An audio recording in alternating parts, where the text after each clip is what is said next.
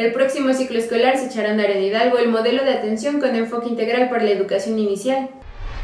A partir del ciclo escolar 2014-2015 se implementará en todo el Estado el modelo de atención con enfoque integral para la educación inicial, que tiene que ver con la afectividad, el marco legal que establecen los derechos de los niños y las aportaciones de las neurociencias a la formación académica y social. Para ello, la Dirección de Educación Inicial de la Secretaría de Educación Pública de Hidalgo trabajó en el último ciclo en la capacitación y actualización de todo el personal vinculado con este nivel educativo, tanto en educación escolarizada como no escolarizada y representantes de los centros de desarrollo infantil dependientes del DIF, ISTE e IMSS. La directora del área, Claudia Beira Alamilla, informó que el objetivo es implementar este modelo promovido a nivel nacional por la Secretaría de Educación Pública en todos los tipos y modalidades de educación inicial para que cuenten con los elementos necesarios para darle la atención y cuidado que corresponde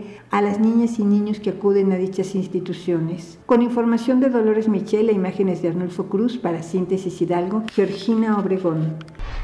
Hasta aquí la información. Lo invito a seguirnos a través de nuestra página de internet, redes sociales y la versión impresa de nuestro diario. Mi nombre es Ana Soto y lo espero en el siguiente corte informativo de Síntesis Hidalgo.